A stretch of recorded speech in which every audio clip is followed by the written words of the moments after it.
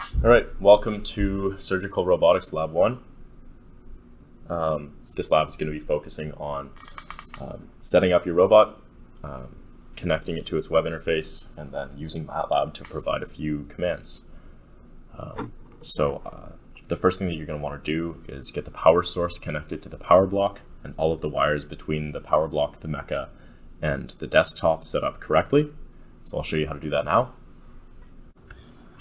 All right, so this is how you will be given your power supply and your Mecademic robot for lab one.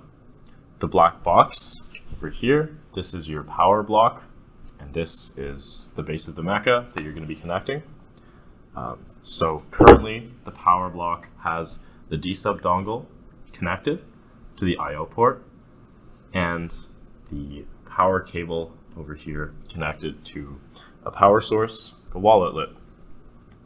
The first thing that you're going to want to do is you're going to want to connect the female end of the uh, black power cable to the port next to the D-sub dongle on the power supply. So we'll go ahead and screw that in.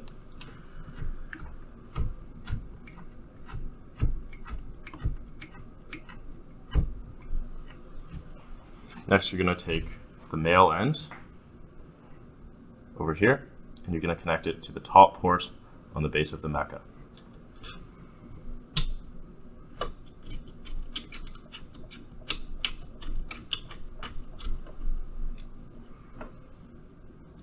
Next, you're going to want to take the turquoise Ethernet cable, which is already connected to the back of the desktop. And you're going to want to connect it to the Ethernet 1 port uh, on the base of the Mecademic.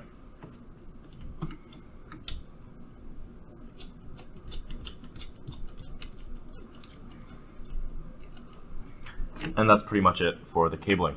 Um, so the next thing that you're going to want to do is provide power to the robot by pressing on the black switch on the back of the box. So that'll be located over here. You'll click on that.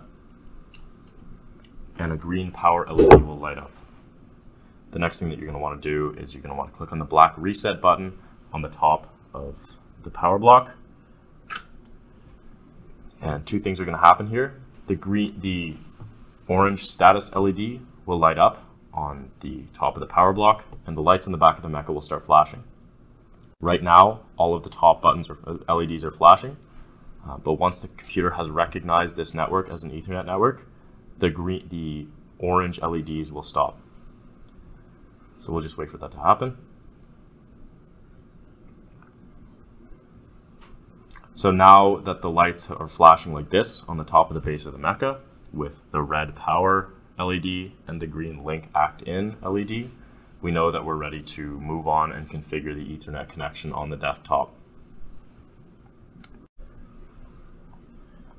So once that's all set up and you've provided power to the Meca, you should be good to set up um, an Ethernet uh, connection between the Meca and the desktop. So I'll start sharing my screen and I'll show you how to do that. Close this guy. You're want to go to the control panel network and internet, network and sharing center. And in the top right here in the network and sharing center, you'll see all of the connections and networks that your device recognizes. Right now, Ethernet is the only one for the purpose of this video. Uh, you're going to want to click on the Ethernet, and in the Ethernet status window that appears, you'll go to Properties, and in the Ethernet Properties window that appears, you'll go to the Internet Protocol version 4, TCP/IP v4, Click on it and go to Properties. You'll select the Use the following IP address bubble, and then you'll fill in the three boxes as follows. The IP address will be 192.168.0.101. You're going to want to make sure that all of the numbers are in the correct boxes, because when you fill in the subnet mask, you're going to want to specify which portions of the IP address pertain to the host and which ones pertain to the client. Um, so it should be 255, 255, 255.0. That could fill in automatically for you. The default gateway will be 192.168.0.1. Uh, you're going to click OK. If when you click OK, you get a pop-up window saying that the default gateway is already being used, that's probably because a student has configured the robot uh, before you um, and it's redundant. Just click yes, it'll override it, you'll be okay. Um, so you'll close all of those. now you should be good to connect to the web interface.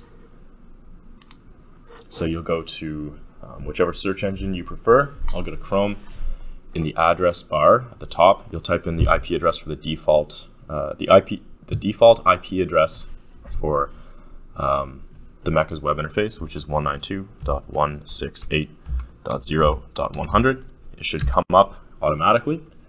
And then you'll connect by navigating to the status tab in the top right and clicking on the connection box. You'll be greeted with the connection type selection of controller monitoring. If you want to provide motion commands directly from the web interface, you're going to want to be on control, but monitoring will be useful for when you're controlling the robot from a different software like MATLAB, uh, but you would like to interact with the web interface for uh, for information regarding the robot's position and orientation. So for now, we'll go on control and connect. We'll provide power to the joints by clicking on the activation box. Um, in a few seconds, it'll click.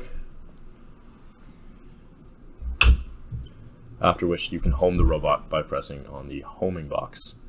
The homing will just move the robot's joints slightly so that it can get its bearings and know its position in space. And now your robot is set up and good to go. Um, this box on the right for the status should never be clicked. That's the error box. Um, that will fill itself out if the robot's in error. And if it's uh, if it's ticked, just call your TA over um, just to be safe. Usually it's a pretty quick, quick fix, but uh, let's not break the robots. Uh, so on the left-hand side here, we have the jogging panel. You can enable jogging by clicking on this button. And you can either jog the joints manually, like so, by using the arrows, or you can jog the end effector's position linearly along one of the axes, X, Y, or Z, or you can rotate it about the axes, and you can do all of these commands either relative to the world reference frame or tool reference frame.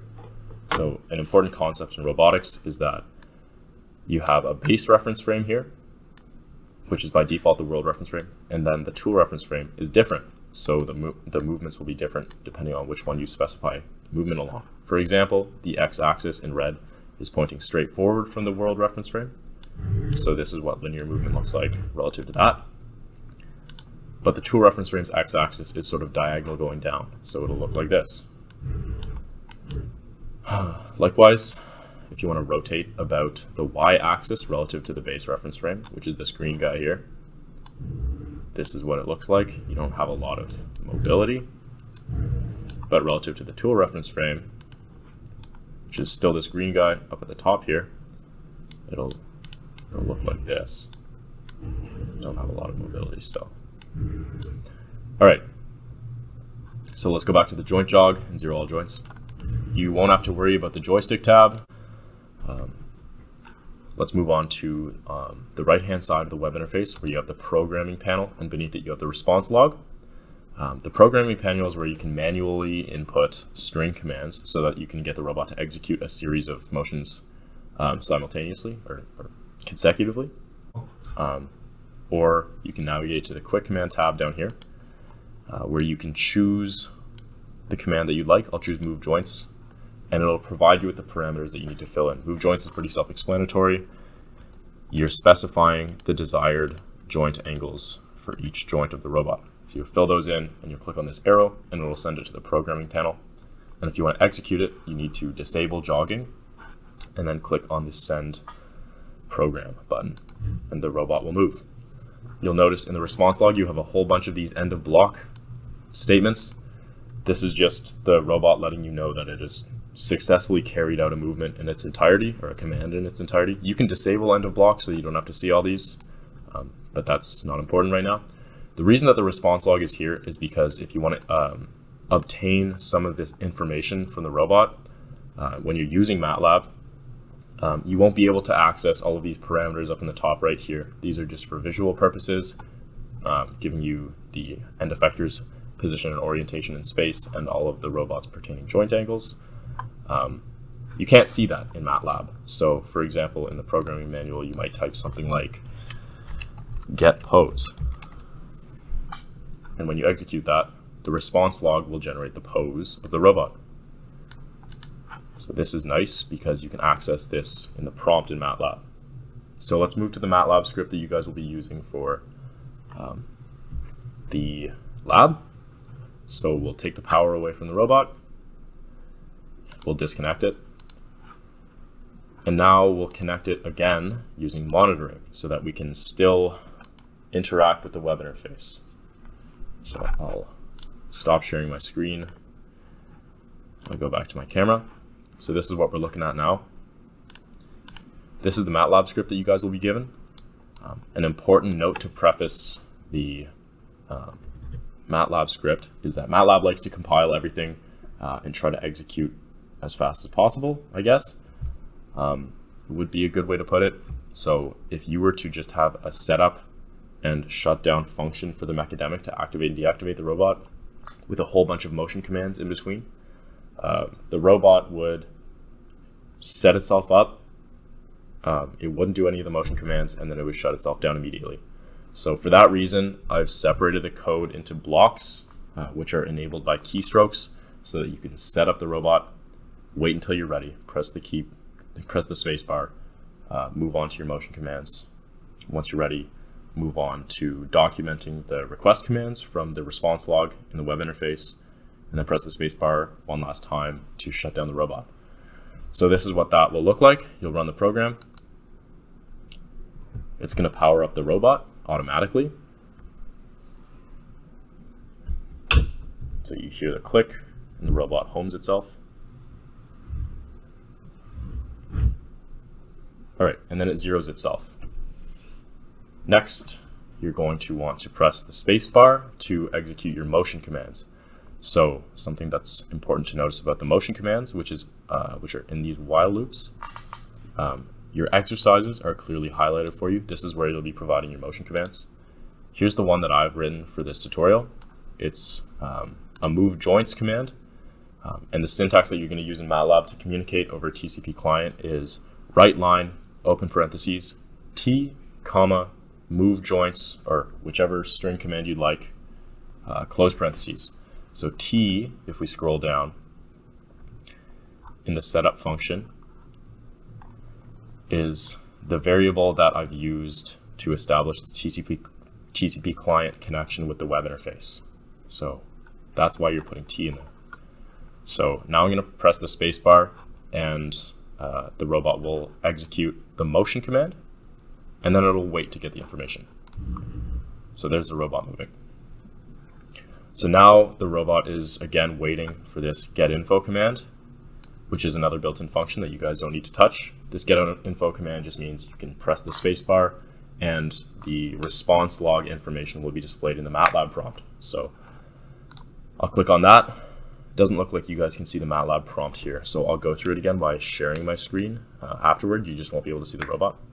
Uh, but the MATLAB prompt is now displaying the uh, response log information. Now we're just waiting to press the spacebar one more time, which will zero the robot and shut it down for the next iteration for your next exercise. All right. So I'm going to share my screen and do that again because there are a couple things that you guys might have missed. So let's split screen the web interface with MATLAB.